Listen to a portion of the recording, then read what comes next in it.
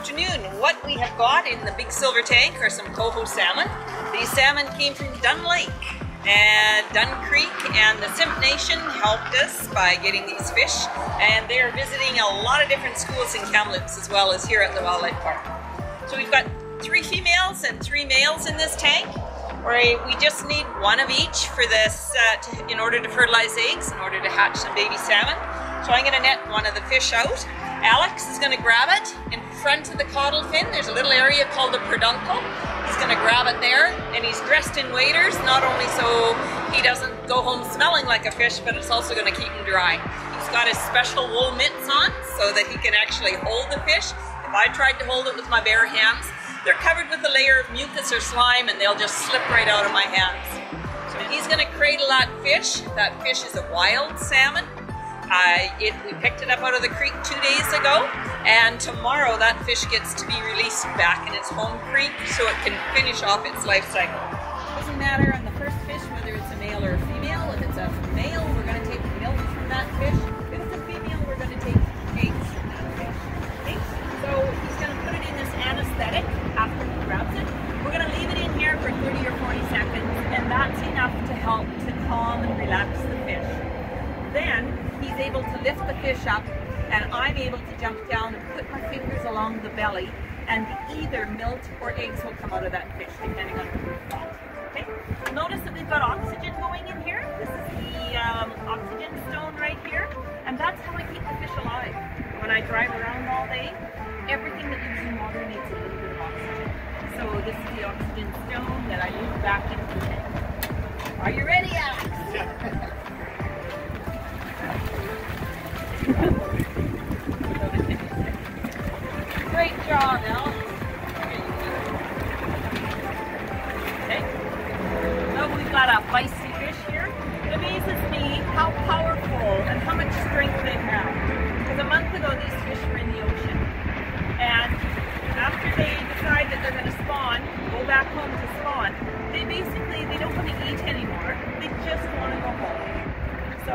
I don't think that we could say that anybody I know of could not eat for a whole month and have that much energy and that much power. Now the Simpcw Nation helps us by uh, marking the fish, male and female, because coho salmon are hard to tell. Okay, so Alex, you're gonna come around the tailgate, you're gonna lift that fish up, and I'm gonna dry the vent area off and then take either eggs or milk. And hold it up in front of you and just hold that shape.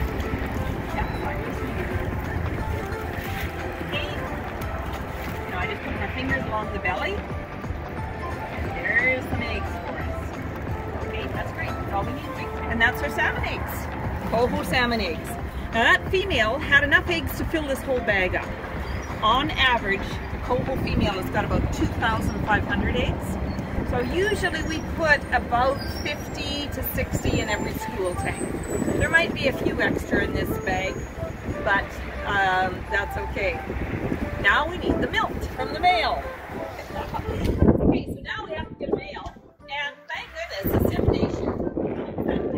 river where we get the fish from, they've marked the males and the females for us, because with coho salmon you can't always tell the difference. The males, they put one little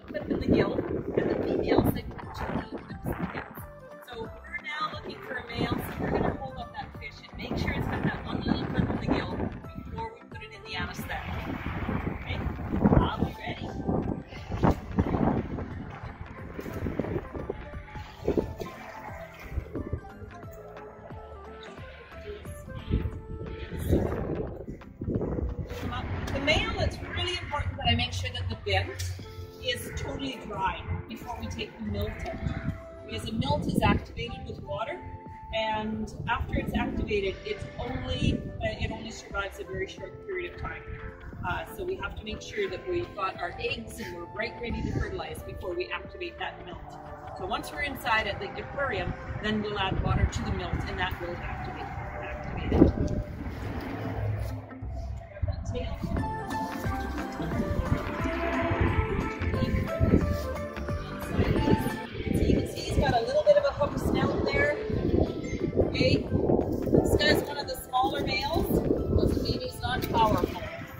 All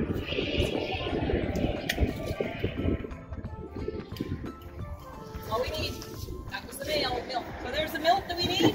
We've already got the eggs. And now we're gonna go inside to the aquarium and that's where we'll actually get these eggs fertilized.